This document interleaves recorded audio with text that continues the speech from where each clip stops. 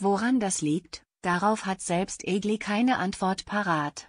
Gegenüber der Zeitschrift Neue Post hat die 35-Jährige nun verraten, dass sie sich schon sehr nach der großen Liebe sehne, ich lerne immer mal wieder jemanden kennen, aber es hat nie gefunkt. Ich frage mich schon, wo ist mein Romeo? Und was müsste ihr Traumprinz mitbringen, um ihr zu gefallen? Ich habe natürlich gewisse Wunschvorstellungen, so die volles Risikointerpretin und nannte als Eigenschaften ein großes Herz und Humor.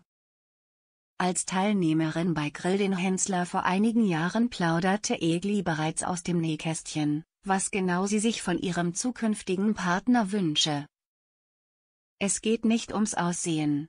Mir ist es einfach wichtig, dass er ein Typ ist, irgendwie Charakter hat, leidenschaftlich ist und was in seinem Leben hat, für das er brennt.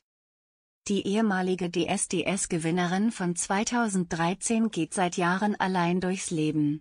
Ihre fünfjährige Beziehung mit dem zwölf Jahre älteren Reto Steiner endete 2014.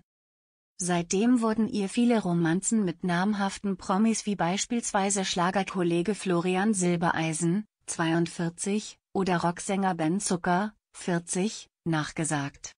Sogar mit dem Musikproduzenten Joachim Wolf soll die fröhliche Blondine nicht nur zusammengearbeitet haben.